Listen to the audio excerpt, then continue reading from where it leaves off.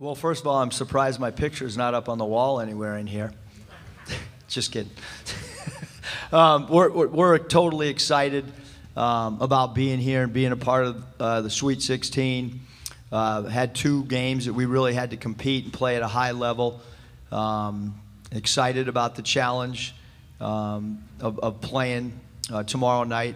Have incredible respect for, for Gonzaga, obviously, and um, you know, we got one more day of prep the rest of the afternoon, and, and, then, uh, and then we're playing.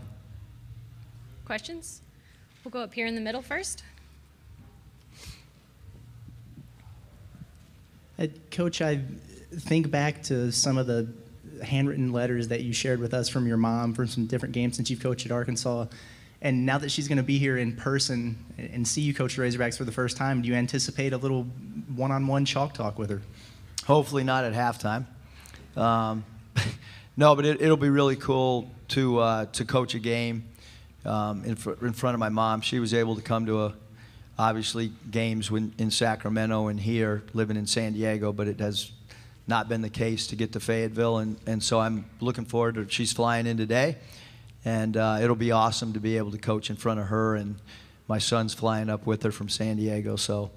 Um, that's a really cool personal thing, although it's, you know, it's, it's way more about the, the players and student athletes and their experience playing in a Sweet 16. And then obviously a, a, lot of attention put on Holmgren and Timme, but I'm curious your thoughts on Gonzaga's backcourt and, and the impact they've made this season. Yeah, there's, it, it, we can't just focus on one. Obviously, you know, their point guard, Nembhard, is, I mean, he's such a special player. He's got great size. We played against him at Nevada when he was – uh, at Florida. We actually recruited him hard when he transferred. Um, he's got great court vision. He does a great job of catching deep, long outlet passes. He's incredible pitch ahead passes to shooters like Bolton on the wing. Um, Gonzaga just presents a lot of problems, um, and that's why they're uh, being talked about as far as being a team that's going to advance beyond this. There has not been much talk about Arkansas. Um, which they deserve it. They're the number one ranked team in this tournament. And so uh, we have to play our A game to beat a team that, um, that's seeded number one in the entire field. We'll go over here. Please remember to state your name and affiliation when you ask Coach a question. Okay. Hey, Eric. I'm Bob Holt, the Arkansas Democrat Gazette. I, I think you know that, though. I hope your shoulder's feeling better. Hey, I, I know we've talked about this before, but you had such an amicable parting from the Warriors. I just wondered if you, and it seemed the people there still talk very highly of you. Why, why, why was your parting so amicable? Why do you have such a good feeling about the Warriors? And then, how much better a coach, as good as you were then, how much better do you think you are now? How, how have you evolved as a coach? Well, I know I'm a lot better. I, I probably knew one one hundredth of what I know now. Um, but just the experience in the Bay Area, the crowds, uh, you know, for the Warriors, even then um, when we were a non-playoff team was incredible. Um, af- you know, after I got uh, fired from Sacramento, I came right back here uh, to be a dad and, and live in Danville. Um, it's kind of funny, but I would go to 24-hour fitness in San Ramon and, and wear my Warriors gear, even though I had been, you know, let go a few years before. Um, Raymond Ridder, Eric Housen, a lot of the people that, that are new even, you know, I'm friends with. And I just have a, you know, whenever there's management change in the NBA, you know, fortunately for me, I got to live it with my father. Um, and so, you know, there was management change, and then soon to follow is, is going to be the coach. And uh, I still talk to Garry St. Jean, actually, one of the houses we bought in Danville. Um, his wife, MJ, sold it to us. Um, even though Chris Mullin was the, the one that took over for, for Garry St. Jean, our sons were always playing against each other in AAU ball. Uh, my youngest son, Matthew, at the University of San Diego, that's where Mully's daughter um, went. They first year, their freshman year, they hung out all the time. Um, so I, you know, I think just understanding that, you know, maybe it wasn't completely the, you know, the ones, the wins and losses, and, and there was new management, and they wanted new direction.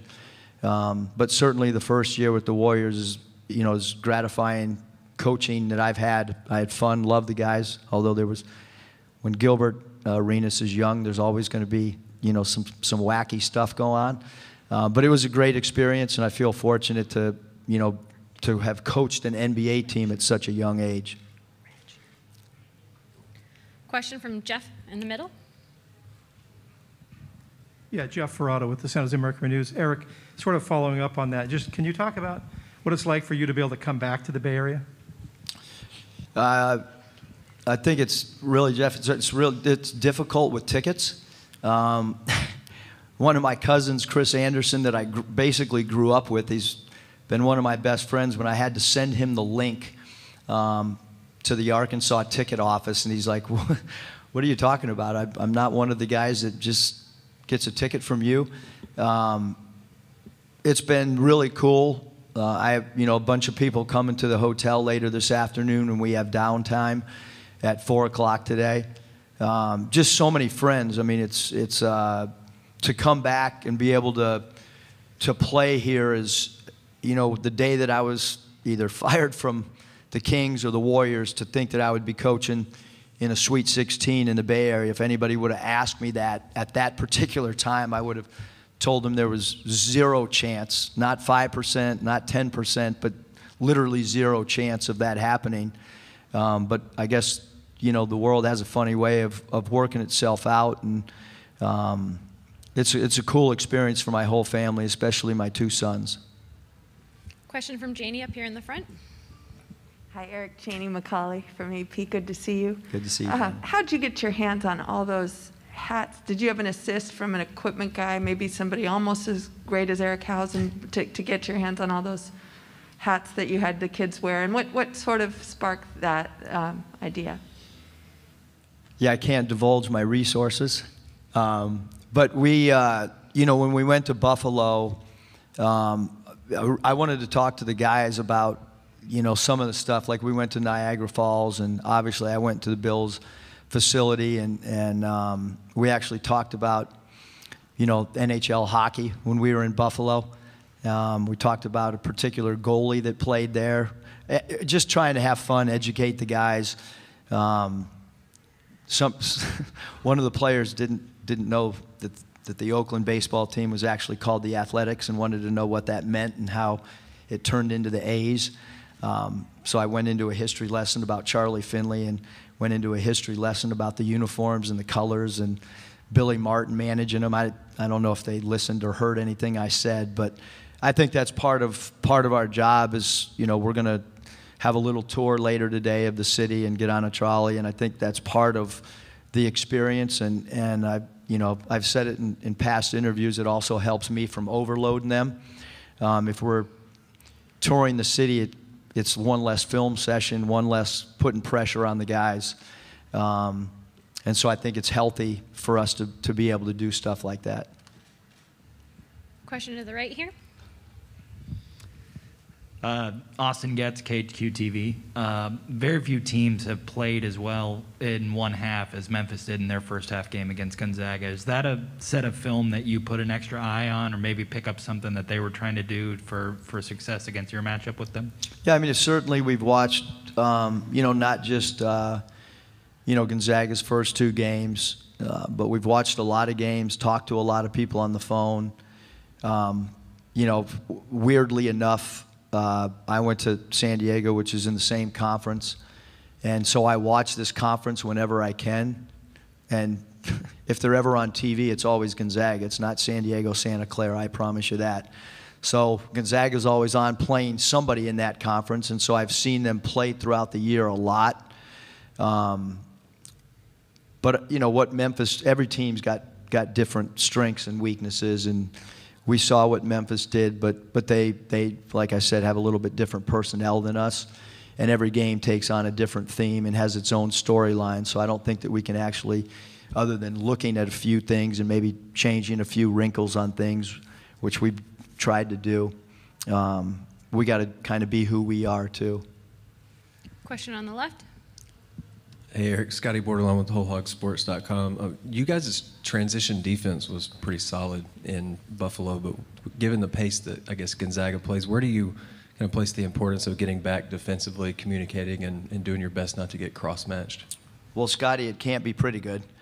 Um, it better be great, or we have no chance. Um, the pace that they play at's incredible. Their wings run hard. They got a rim runner. They got a great trail guy. Um, so all those factors become important. You have to guard the three-point line on the catch, maybe before the catch because of the pitch ahead, because of the deep outlets. Um, you know, you got to be physical on the rim runs. You got to be physical on the trail man. Um, so there's a lot of important factors. Um, communication becomes really important for any team that runs and any team that plays with great pace. Um, you know, point and picking, finding your man, uh, because it becomes of the utmost important. There's always going to be cross matches whenever you play a team that runs like they do, um, which puts a further importance on the defensive communication. Go to the right over here. Brenna Green, Crum 2 News. Uh, Coach Musselman, you talked about the fact that not a lot of people are, are, talking about you guys in terms of this matchup. Do you talk to your team about that? Do you kind of let them marinate in it? Just what are your thoughts there? Yeah, they're going to hear us, you know, when we do a film session, um, there's stuff spliced in on what people have said, thousand percent. I don't mind, you know, conveying that. Um, we understand the respect factor for, for us in this particular game is kind of non existent from a national perspective. Um, so yeah, our guys are going to see it, hear it, all the way up until tip-off. Um, again, the, the, respect that we have for Gonzaga is through the roof, but um, you know we have a 40-minute game that we've got to try to figure out how we can um, play with them and give ourselves an opportunity. Question on the left.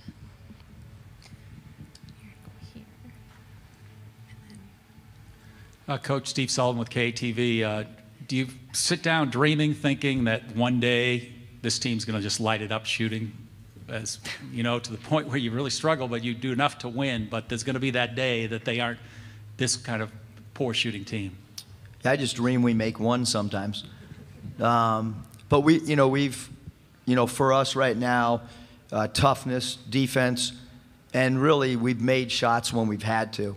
It's been a really uh, unique team in that aspect that when we need to go on a 6-0 scoring spurt and make two deep threes, we've kind of found a way to do that. Obviously, being 17 and 3 in our last 20 games, and you look at the competition that we've played against, when you play against, you know, Kentucky and Auburn and, and at Tennessee and at Alabama, and, and two of the three losses have come by a combined five points. I mean, we've talked all year to our team about, you know, how do you win the race from November to March? Meaning, how do you win the race of being an improved basketball team? And I think we've improved and won that race as much as anybody based on who we've played um, down the stretch of the season. Um, and, and now it's a 40 minute game, and certainly making shots, Sully becomes extremely important, not just for us, but, but but every team in, this, in the tournament that's left is you've got to have shot making ability in order to advance when, you, when, you, when, you, when you're down to 16 teams. We've got time for three more questions. We'll go to the back middle first. Uh, Dana O'Neil at The Athletic. Muss, you're talking about kind of the, touring having some fun with your players. A lot of coaches come in here and talk about this should be a business trip and yada, yada, yada. Do you look at this is that a you decision how you would treat any team or do you do that specific to this team because it will work for them to kind of ease off the pedal a little bit yeah danny i do it based on experience um, if anybody thinks that they sit up here and say it's a business trip and that they think they're preparing more than us watching more film than us or have a more intense practice session than us then they're fooling themselves um, nobody prepares harder than what we do um, and, and, more importantly than our players do. Um, you could quiz them on anything, and they, they know every opponent inside out. They know every option offensively that a team's going to run. It doesn't mean that we can stop them. Um, but through experience at Nevada, I thought I put way too much pressure on our team um, the last year. I look back at it, I regret it. We didn't celebrate wins. Um, we were ranked in the top 10 for 17 straight weeks.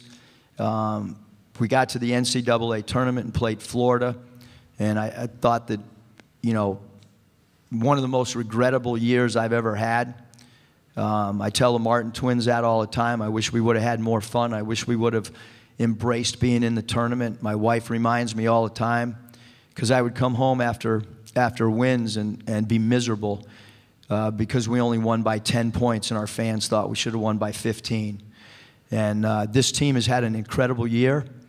Um, so we are going to celebrate. We are going to ha- make it a business trip as well. But while we're doing it, um, we're going to make it enjoyable as well. Again, just based, based off experience.